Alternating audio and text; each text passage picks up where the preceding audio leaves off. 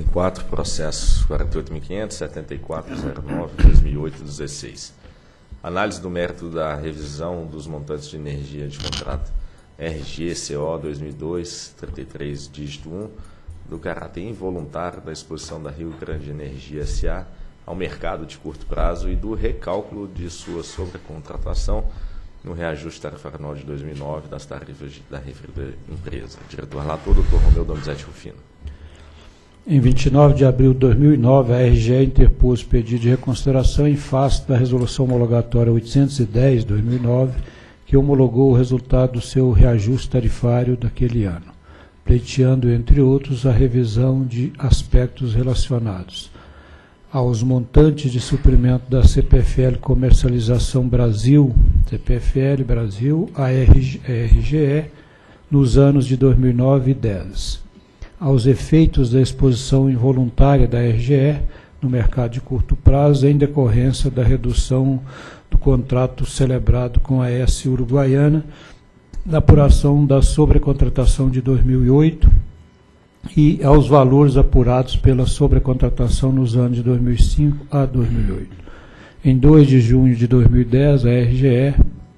a SRE, recomendou, entre outros, o indeferimento do pedido de reconsideração dos montantes de energia a serem demandados na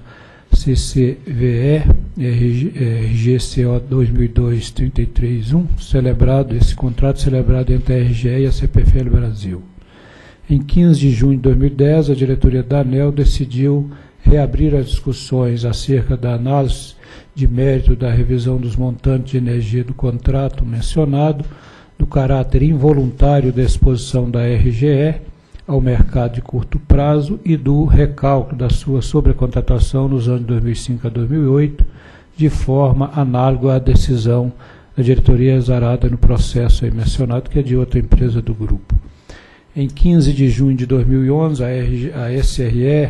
reiterou suas conclusões e recomendou o indeferimento do pedido de reconsideração. Em 28 de maio de 2012, fui sorteado relator do presente processo e em 13 de agosto de 2012 solicitei à SRE complementação de sua análise, a qual foi encaminhada em 12 de setembro de 2013. É o relatório, posição da Procuradoria.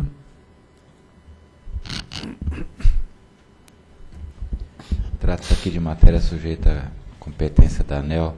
dos artigos, artigo 3 inciso 18 e 19.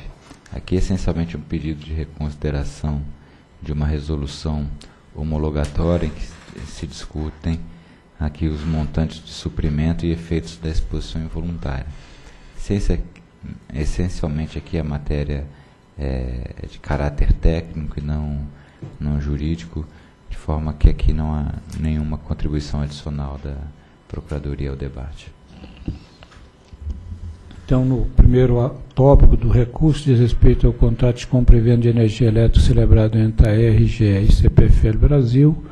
por meio desse contrato de compra e venda de energia celebrado entre as duas, em 12 de dezembro de 2002, a RGE avançou com a CPFL Brasil, avançou a compra de energia elétrica para o período 2003 a 2014. Esse contrato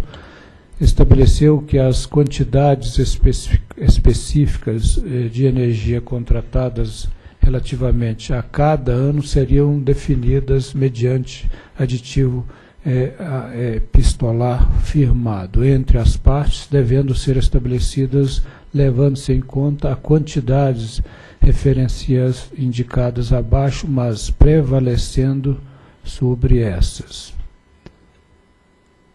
Então, o montante de referência aí está relacionado de 2008 a 2014. Nesses termos, foi celebrado em 28 de novembro de 2008 aditivo reduzindo a quantidade de energia contratada com a CPFL Brasil para os anos de 2009 a 2010 para 87 megawatts médios. Cabe destacar que nessa ocasião a ANEL já havia decidido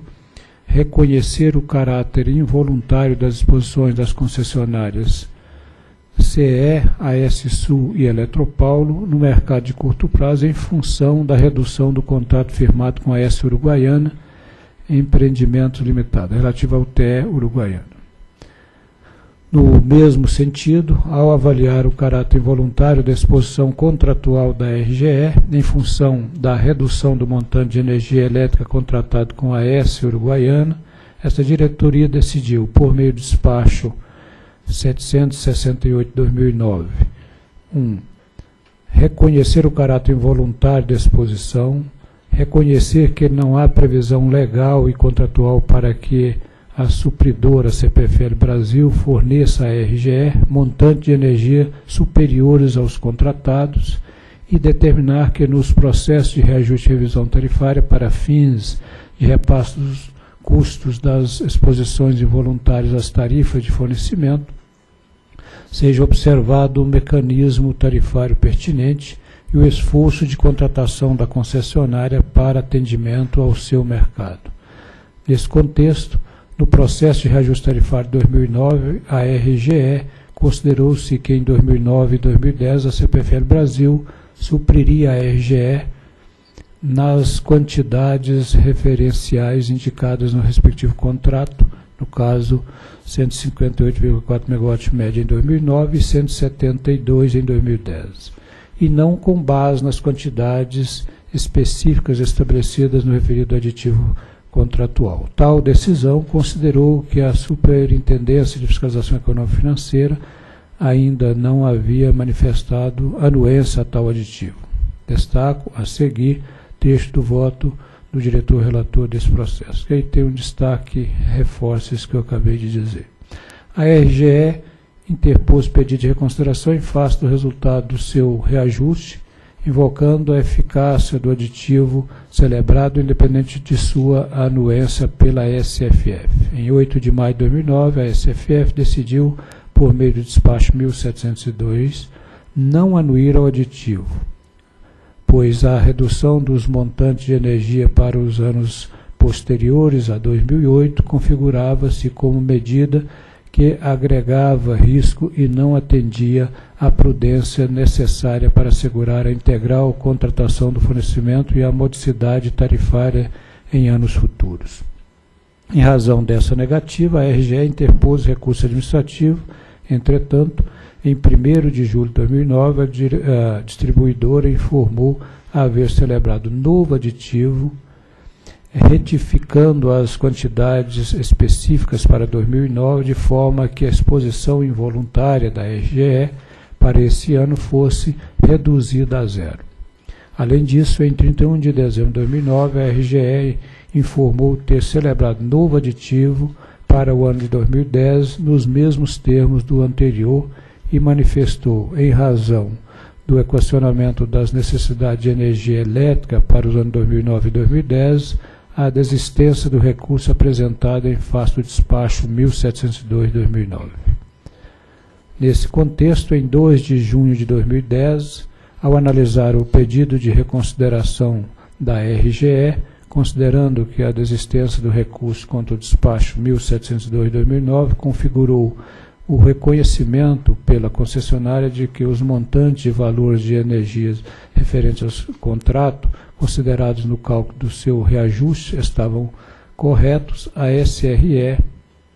entendeu que a apreciação do recurso contra o reajuste tarifário de 2009 restava prejudicada e que esse pleito deveria ser indeferido. Outro ponto é no que diz respeito à exposição involuntária. A RGE alega que em seu processo de reajuste tarifário de 2009 considerou-se que o suprimento da UTE uruguaiana de, se deu de maneira integral até o final de 2008, conforme dados oriundos da CCE. Entretanto, houve a interrupção dos pagamentos pela RGE em setembro de 2008, que teria sido apurado pela SFF, em decorrência de a energia contratada não ter sido entregue. A consideração da SRE teria levado a que os efeitos econômicos e financeiros decorrentes da exposição involuntária da RGE não fossem considerados no reajuste tarifário de 2009. Assim, a distribuidora solicitou a reconsideração do tratamento dado para apuração da, sobre a contratação em 2008. Sobre esse tema, a SRE informou que não poderia é, furtar-se de considerar estritamente os montantes registrados perante a CCE, que é a depositária oficial de informações, inclusive por disposição legal. Outro ponto diz respeito à sobrecontratação de 2005 a 2008. A distribuidora também afirma que a planilha disponibilizada pela SRE, contendo a memória de cálculo da sobrecontratação de 2005 a 2007, apresentava inconsistências entre os valores considerados pela ANEL e aqueles disponibilizados pela CCE, e não possibilitou que pudesse ser verificado o impacto efetivo do recálculo de tais valores no reajuste de 2009. Assim, requereu a disponibilização de todas as informações relativas a essa questão e que fosse devolvido o prazo recursal a fim de que pudesse interpor novo pedido de reconsideração, observando-se o princípio da ampla defesa. Com relação à sobrecontratação de 2008, apontou ainda que a apuração das sobras ou déficit de energia de 2008 não contemplou os efeitos decorrentes da descontratação progressiva de seu contrato relativo ao TE Uruguaiana e que identificou inconsistências relativas à perda regulatória considerada. Em sua no, nota técnica, a SRE afirmou que o processo de revisão da sobre a contratação dos anos 2005 a 2008 foi procedimento utilizado em relação a todas as distribuidoras de energia, inclusive outras integrantes do grupo econômico da RGE, sem que houvesse alegações de incapacidade de compreensão do pleito. Destacou também que não foi feito qualquer pedido, seja de majoração ou de diminuição do montante apurado, tornando inviável a análise do pedido, razão pela qual sugere seu indeferimento. Então, na vigésima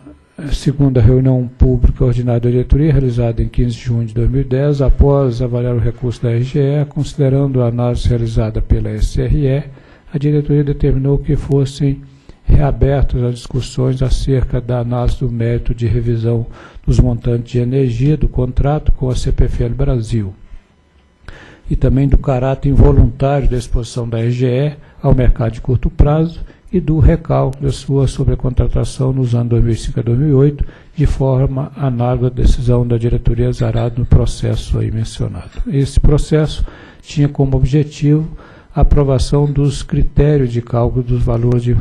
frustrações contratuais e decorrentes de leilões a serem considerados como exposição involuntária no ano 2008 para cada agente de distribuição bem como para a utilização nos cálculos de garantias financeiras para o ano 2009. Tal discussão foi alvo da audiência pública 8 de 2009 e resultou na publicação da Resolução Homologatória 920, de 15 de dezembro de 2009. Contra tal ato, a CPFL Piratininga e CPFL Paulista interpuseram pedidos de reconsideração solicitando, entre outros, que fossem considerados como involuntárias todas as suas exposições nos anos 2008 e 2009. Nesses casos, a diretoria decidiu em 6 de abril de 2010 que essa discussão fosse realizada nos respectivos processos de reajuste tarifário. Também nesse sentido, ao deliberar sobre o pedido de reconsideração interposto pela CPFL Paulista em face do resultado de seu reajuste tarifário de 2009, a diretoria decidiu reabrir a discussão acerca da análise de mérito de caráter involuntário da exposição da distribuidora no ano de 2008, conforme decisão citada acima. Foi nesse contexto que a diretoria entendeu ser conveniente aguardar a conclusão das discussões acerca da análise de mérito do assunto relacionado aos processos aí mencionados, que é da CPFL e da